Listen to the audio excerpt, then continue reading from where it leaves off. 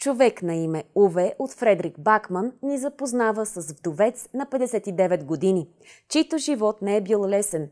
Уве е сърдит на света, най-вече откакто Соня я няма. На Уве не му се живее, но все не успява да намери време да се самоубие.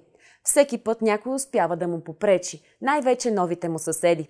Неговата съпруга Соня е починала и за капак на всичко го пенсионират принудително – за щастие в квартала се нанасят нови съседи, които нямат намерение да оставят Уве на мира. Уве живее с Соня в спомените си и така авторът ни запознава с техния съвместен живот. Уве е честен и добър, макар и темерот. Води битка с бюрокрацията. Уве е от безсилните обикновени хора срещу утвърдената система от документи и клаузи. Битката на единицата срещу системата. Битка на човечността срещу бездушието. И на всички тези неща го е научила Соня – Човек на име Уве от Фредрик Бакман ни доказва, че човек може да понесе всичко, което съдбата му стоварва.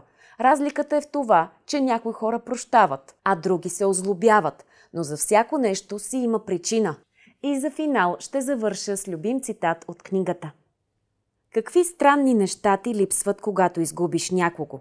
Дребни неща, усмивки, начинът по който тя се обръща на сън, дори пребоядисването на стаята заради нея.